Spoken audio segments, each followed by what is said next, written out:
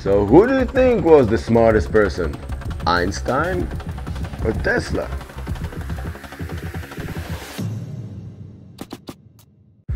The Serbian inventor, Nikola Tesla, born in a tiny Serbian village with big dreams and a suspicious cat, who hid some of his theories. The present is theirs. The future, for which I have really worked, is mine. In 1884, Tesla immigrated to New York and was hired by Thomas Edison. Tesla's genius mind never translated into money, academic, or social success. No free energy device will ever be allowed to reach that market. Although Einstein paid a great respect to the Serbian inventor, Tesla never showed him respect in return. Magnificent mathematical garb.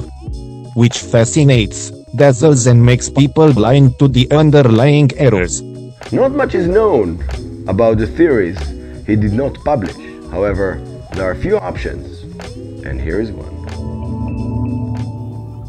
Here we see the representation of a single photon of light.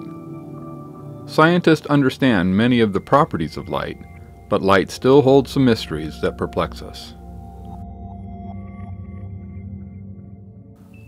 Thomas Young first demonstrated the wave nature of light in 1803 with his famed double slit experiment, and ever since then the world's top minds have debated what the results of this experiment actually mean.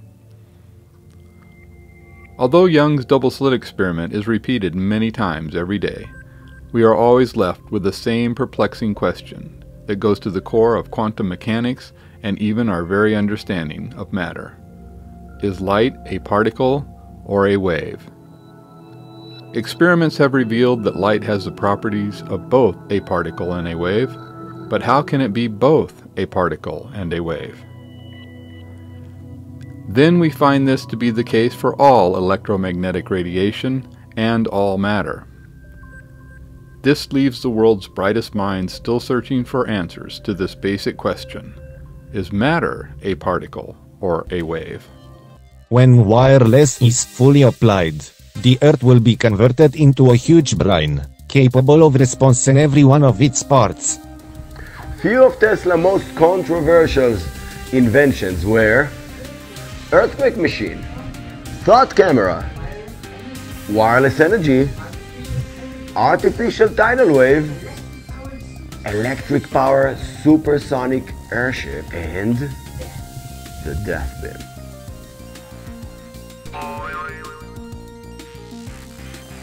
In order to begin to understand Tesla, we must understand the basis for all his theories, the magnetic force. The fields shown around the green photon are electromagnetic fields of opposite polarity, with the red field being of north magnetic orientation and the blue field being of south magnetic orientation. It will be proven that this is actually the way that magnetic fields are structured around all matter. This applies from the smallest particles we have discovered to the largest structures in space. If you were to measure these fields with a compass, their magnetic fields would appear identical to the magnetic fields of a bar magnet. This also means that when we measured the magnetic fields of matter with other methods in the lab, we also assumed that matter had a bar magnet type of magnetic field. But this assumption was a mistake. So until now, we have incorrectly assumed that electrons and other matter have a magnetic field shape as shown in this drawing. But we must realize that the fields around an electron, as well as around all other matter, are actually two opposing bowl-shaped electromagnetic fields. I believe that this magnetic field structure is an intrinsic property of all matter.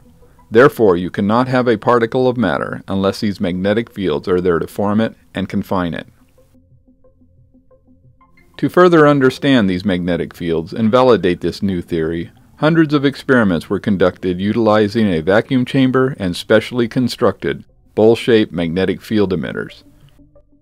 When 70,000 volts of electricity is applied, the plasma formations that you are now seeing appear. A variety of purging gases were used in these experiments. This includes ordinary air, argon, hydrogen, and helium. A change of magnetic field emitter geometry also results in a change in the shape of the plasma formation within the vacuum chamber. It is important to note that these bowl-shaped magnetic fields will not always be nice simple symmetrical structures. They can be warped, twisted, offset, or one field might even be larger than the other as shown here. You will clearly see how this new theory explains the structure of not only the Sun, but also all matter, from electrons, to atoms, to molecules, to planets, to stars, to nebula, and even to entire galaxies.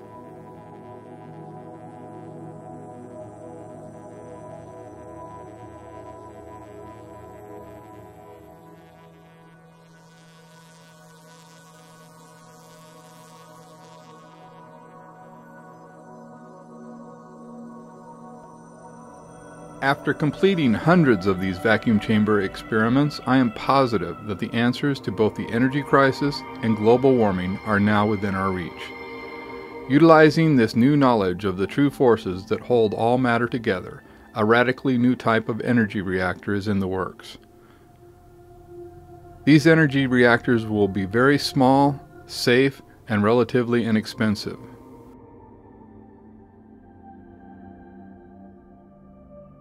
So the dream of low-cost electricity is at the door. As you can see here, we are already well on our way to fulfilling our dream. Plus, there is an additional benefit to this technology, zero carbon emissions. All people everywhere should have free energy sources. Way ahead of his time, in 1906, Tesla was ready to build the first world system, or in other words, what we call now the internet? The only thing holding these balls in position are the magnetic fields emanating from these two bowls. Could this truly be the way that atomic and molecular structures are properly explained? I believe so. The steel balls are supported by a sheet of clear acrylic which does not come in contact with the magnetic bowls at all. Therefore, it is only the magnetic fields of the red and blue bowls which are responsible for the shape of the patterns we observe here. Then in the nucleus area, we found that non-magnetized steel balls form geometrically shaped arrays that match the patterns found at the molecular level. A wide variety of methods were used to study the magnetic fields emanating from these bowls. Here we see ferrofluid at work showing the magnetic patterns formed within these bowl-shaped magnetic field emitters. So you should be starting to understand that a critical mistake was made by scientists when it was assumed that the magnetic fields emanating from matter such as atoms was due to a simple bar-shaped magnetic field within the atom. This assumption led to many ill-formed ideas as to the true forces at work from the subatomic level to the galactic level. So here is the basic shape of the magnetic fields that emanate from a typical structure in space.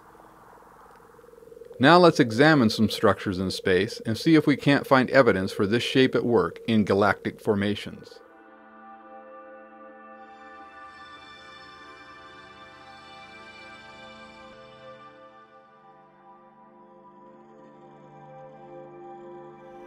These large structures in space could not be explained by the currently accepted theory of gravity alone. So as we studied these structures, it was assumed that some extra source of gravity was required to explain how all this matter could be held in orbit around the central star in these galaxies. This is how the theory of black holes became accepted when trying to explain these structures. It was a totally reasonable line of thinking. But it was found that even using black holes with incredible gravity we could still not explain how these large structures in space are held together and function. So the next mistake that we made was to assume that some other extra matter was there to explain these large structures in space. Along came our theory of dark matter. But even when we applied both the theory of black holes and dark matter to our puzzle, there still were some problems. It seems the universe itself was not only expanding, but that that rate of expansion was increasing. To explain this, we came up with the theory of dark energy. So now we have invented three totally unproven theories to explain what we find in the visible and known matter in space black holes, dark matter, and dark energy. But they are not required at all if you eliminate the basic misunderstanding of magnetic fields around the nucleus of all structures in space.